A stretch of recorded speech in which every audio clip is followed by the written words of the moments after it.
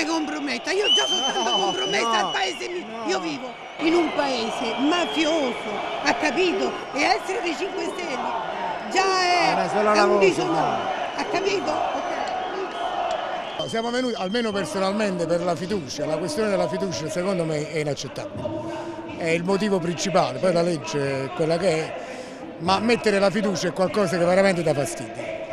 È, sa di Sud America, diciamo così. Mi sembra nel 53 che è stata messa la fiducia su, su una legge elettorale e il Presidente del Senato allora si dimise. E, ecco, hanno fatta per sfavorire i 5 Stelle e c'è un popolo che è in rivolta. Pacificamente i 5 Stelle hanno incanalato una rabbia e questi sono i risultati. Un Presidente della Repubblica non sappiamo chi è e che cosa fa. E, e, meno male che un giudice della Costituzione ha già approvato una legge, refer, refer, eh, una legge elettorale incostituzionale. Adesso, ne, adesso ne, speriamo che non dà l'ok anche a questa. Noi qui siamo tutti del 5 Stelle quelli che siamo qua, ma quello che invitiamo a fare alle persone è venire in piazza a protestare per i propri diritti. Quindi qui non ci devono essere solo i 5 Stelle, ci devono essere anche italiani che pretendono la libertà. Sono venuto a questa manifestazione perché ritengo che questa legge elettorale, così come è stata diciamo, propinata al Parlamento e come è stata proposta al Parlamento, toglie la rappresentatività al popolo, per cui sostanzialmente il popolo non potrà decidere la, il proprio candidato, ma non solo, non sarà neanche libero di esprimere la propria preferenza e di avere la sicurezza che quella preferenza vada esattamente a quel partito o a quel candidato, in quanto le coalizioni sostanzialmente a livello proporzionale non danno la eh, certezza che l'espressione di voto vada esattamente nella direzione dove viene espresso, cioè ad esempio in una coalizione dove abbiamo 10 simboli se io eh, scrivo un simbolo e a fianco il nome del candidato che voglio che venga eletto, in realtà quel voto andrà al candidato di lista in base ad un listino predeterminato e quindi in base poi al, alla proporzione che avrà il partito in quel determinato collegio. Per cui sostanzialmente il voto è falsato, non è un voto diretto. Già siamo stanchi, ecco, insomma, il popolo si sente e si ribella alle nostre spalle perché è giusto, sono tanti anni che non riusciamo a votare i nostri candidati, non c'è più eh, quella rappresentatività, quindi quel mandato di rappresentanza nei confronti dei parlamentari ma vengono fatti sostanzialmente nelle segrete stanze dei palazzi e dei partiti le liste eh, di nomi e nominati tra parenti, amici e conoscenti, eh, togliendo completamente la possibilità di raccogliere voti e svilendo anche quella che poi è la campagna elettorale per il Parlamento che rappresenta la nazione sostanzialmente. Quindi ritengo che eh, non, so, non, è un fatto che danneggi o meno il Movimento 5 Stelle, che sicuramente ne verrà danneggiato da questa legge elettorale, ma danneggia comunque qualunque tipo di forza politica che voglia tentare di andare al governo da sola.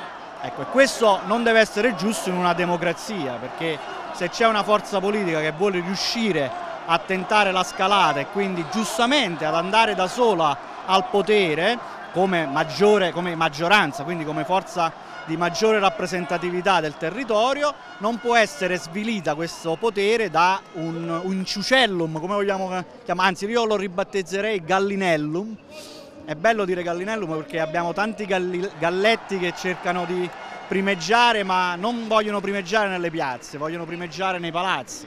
E quindi questo è un qualcosa che toglie a noi quella speranza di tornare in una democrazia. Questi temono il voto e quindi con questa legge lo hanno annullato in modo che loro si autorizzino a governare per altri cinque anni, perché temono il voto perché hanno capito che in realtà la gente è stanca e che se vanno al voto liberamente, e voglio dire la legge non sarebbe quella che in realtà hanno approvato, probabilmente questi signori eh, insomma, eh, disoccupati a vita e questo è il problema, non hanno fatto altro negli ultimi 50 anni che fare parlamentari, ci sono persone in questo Parlamento che occupano degli scranni da 50 anni, noi li paghiamo e hanno accumulato vitalizi eh, in 30-40 anni. Noi paghiamo pensioni a persone che sono venuti qua per tre giorni, ma ci rendiamo conto? Cioè io cito Cicciolina per esempio, bene, che sta in realtà percependo 3.000 euro al mese o 2005, non mi ricordo, solo la Zanicchi che ha fatto sempre spettacolo, solo perché era una persona che piaceva a Berlusconi, si, ritrova, si è ritrovato a fare il parlamentare europeo e comunque percepisce dei vitalizi. È vergognoso, cioè il popolo si deve svegliare, lo deve capire che questo di oggi questa manifestazione di oggi serve a risvegliare un po' le coscienze, a far capire alle persone che comunque se va avanti questo andazzo i figli non hanno più futuro, devono andare via dal paese.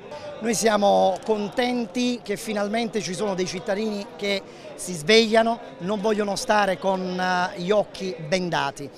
Noi quello che adesso dobbiamo fare è far capire a tutta la cittadinanza che questa legge elettorale e quindi il voto che poi chiederanno ai cittadini è un voto truffa.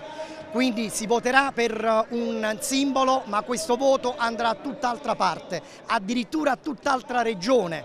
Quindi loro hanno creato un sistema in fin dei conti per restare incollati a quelle poltrone. La domanda che ci siamo sempre posta è ma come mai non cambia nulla? Come mai ci sono sempre gli stessi? Ecco, oggi la risposta ce l'abbiamo perché vi possiamo dire, perché eh, li vediamo con i nostri occhi, siamo testimoni oculari, vi possiamo dire perché cambiano le regole, cambiano le carte, cambiano le norme affinché qualsiasi cosa succeda loro possano sempre sedersi su quelle poltrone. Io spero solo che gli italiani si sveglino e soprattutto quelli che non votano, gli astensionisti, si facciano una semplice domanda. Perché tutti contro il Movimento 5 Stelle? Devono andare a casa, tutti, tutti devono andare a casa. C'è bisogno che entri la gente per bene, la gente comune, la gente... Perché dobbiamo continuare a dare soldi con la pala a Napolitano? diamo i soldi alla povera gente, diamo i soldi ai disoccupati, facciamo girare la moneta, questo ci vuole. Ci temono, ma noi stiamo arrivando, siamo l'onda che vi travolgerà. Abbiate paura di noi, abbiate paura di noi arrabbiati, perché noi siamo il popolo degli arrabbiati.